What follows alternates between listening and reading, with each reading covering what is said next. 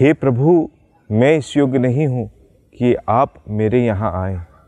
किंतु एक ही शब्द कह दीजिए और मेरा नौकर चंगा हो जाएगा।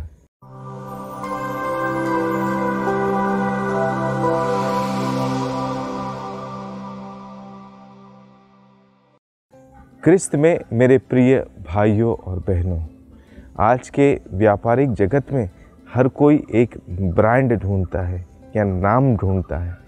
अगर किसी चीज़ का एक बार नाम बन जाए तो वह आँख बंद करके भी बिक जाती है। और व्यापार जगत में लोगों को बहुत मुनाफा होता है। लेकिन जब किसी कंपनी का कोई नाम बन जाता है तो दूसरे जो लोग हैं, उस कंपनी के समान अपने जो भी चीज़ें हैं, उनको बनाने का प्रयास करते हैं। केवल प्रयास करते हैं, उनके समान नहीं बना सकते।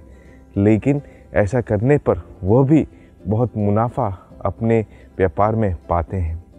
अगर इस बात की तुलना हम आध्यात्मिक जीवन के साथ करेंगे तो हम भी काफ़ी मुनाफे का जीवन जी सकते हैं।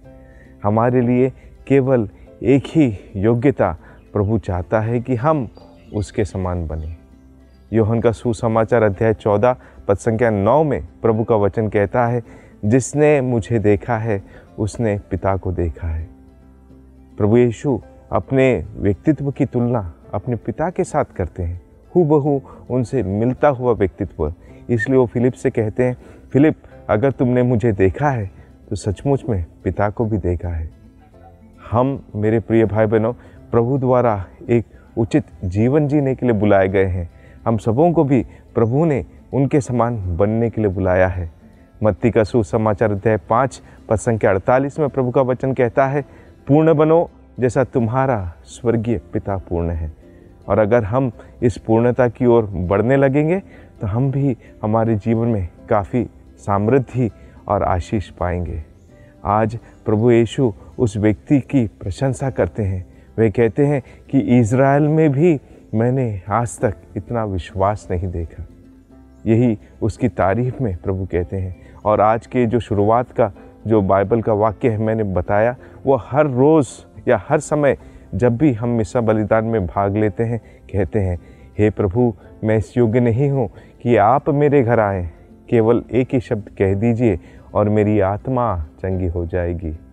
जब हम इन शब्दों को बार बार दोहराते हैं, क्या हम इन शब्दों की गहराई को समझते हैं? जो हम बोलते हैं क्या हम उसके समान आचरण करते हैं? क्योंकि अगर हम इस वचन पर विश्वास करते हुए उसको अपने आचरण में ढालेंगे तो हमारे जीवन में समृद्धि की कोई सीमा नहीं रहेगी। क्योंकि प्रभु इस तरीके से आशीष की भरमार हमारे जीवन में करेंगे कि हमारा जीवन सुखमय और आनंदमय हो जाएगा।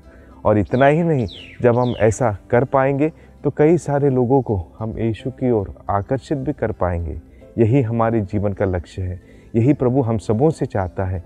जैसे प्रभु ने संसार में आकर लोगों को पिता के बारे में, ईश्वर के राज्य के बारे में बताया और कृपाओं से, आशीषों से भरा, हमें भी प्रभु वही कृपा और आशीष देना चाहता है ताकि हम इन सबों का इस्तेमाल करके अपने जीवन में प्रभु के राज्य को स्थापित करने में अपना योगदान दें। क्या हम इस सब के लिए तैयार हैं? अगर है तो हमें भी हूबहू हमारा जीवन ईश्वर के जीवन के समान बनाना ज़रूरी है। और जब हम ऐसा करने लगेंगे, इसका मतलब ये होगा कि हम विश्वास की गहराई में जा रहे हैं। विश्वास को गहराई से समझ रहे हैं और यीशु को अपना प्रभु और मुक्तिदाता घोषित करते हुए उसके बताए हुए राह पर चल रहे हैं। और प्रभु ने जैसा अंतिम पंक्तियों में कहा कि तुमने जैसा विश्वास किया, वैसा ही तुम्हारे साथ हो जाए। तो जब हम भी प्रभु के सामान बनने लगेंगे, हम भी जो विश्वास करेंगे, उसी के समान प्रभु हमारे ज़रिए कार्य करेगा। तो आइए, प्रभु से हम इस कृपा के लिए आशीष मांगे और विशेषकर इस समय हमारे देश में शांति के लिए प्रार्थना करें। जो प्रेम का भाव इस समय संसार से दूर होता जा रहा है, मनुष्य से लुप्त होता जा रहा है, वह भी पूर्ण रूप से वो लोग प्राप्त करें। विशेषकर मणिपुर में हो रही हिंसा के लिए भी हम प्रार्थना करते हैं कि प्रभु उस हिंसा को विराम देकर वहाँ पर शांति लाए ताकि हर एक व्यक्ति प्रभु के प्रेम को समझकर उस प्रेम में बढ़ने का प्रयास करे।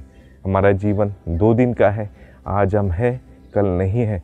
तो हम इस छोटी सी ज़िंदगी में प्रभु को बारंबार धन्यवाद देकर उस मुक्ति को प्राप्त करें जो प्रभु हमें देना चाहता है। आइए इस कृपा के लिए हम प्रार्थना करें। आमिन।